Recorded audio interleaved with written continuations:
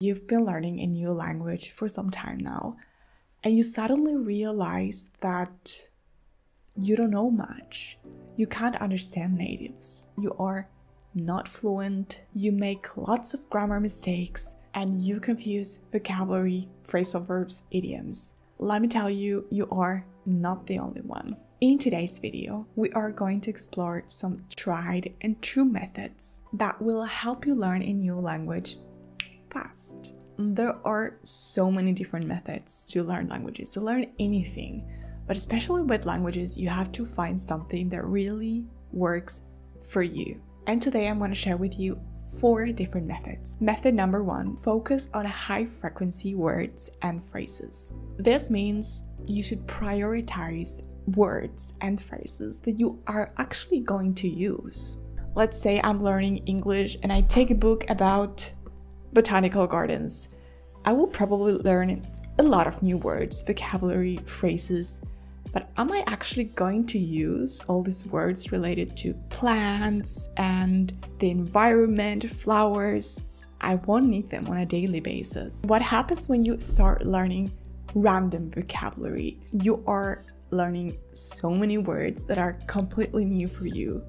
And at some point, you are going to feel frustrated because you can't remember all of them and you're not going to use those words every day. Something I've been doing with German is think of my native language. What are the words, phrases, vocabulary that I normally use every day in Spanish? I know that is the vocabulary I need to learn in German first. When I know all these words, all these phrases that I need every single day, then I can continue and expand my vocabulary with something different. By learning them first, you'll be able to communicate more effectively in a shorter amount of time. In Spanish, we have the saying, La repetición es la madre de la retención. It means something like, by repeating, that's the only way to retain information. And that's what you want to do with new vocabulary. You want to repeat, repeat, and repeat. Start by creating flashcards. You can use this by writing them on paper or using an app. There are plenty of apps you can use to create your own flashcards.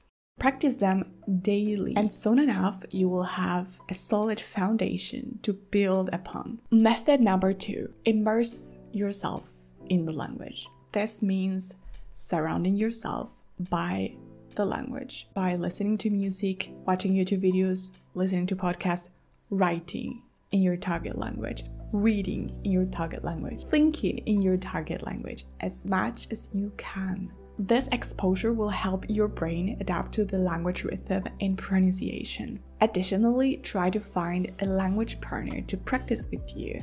It could be a native speaker or someone who is also learning the same language as you. Try to speak regularly with them, even if it's just a few minutes. Remember, practice makes perfect. Method number three use the internet. We live in the digital age. Language learning has become more accessible than ever before.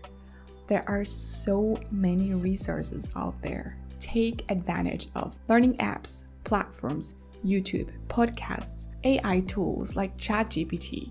There are plenty of platforms where you can have lessons with real teachers who will help you correct your mistakes. And half or even more than half of these resources are free, so you don't have to spend any money on it. Method number four create a language learning routine. Consistency is key when it comes to learning a language. And we have busy lives. It's not easy to find time to learn a new language, especially if you are working, studying, if you're a parent. However, you don't need much time. Whether it's dedicating 30 minutes a day, 15, 20, try to do it regularly. You could spend 20 minutes every morning listening to a podcast while you have breakfast or reading a book during your commute. Make language learning a habit and you will be surprised by how much you learn and how much you can achieve.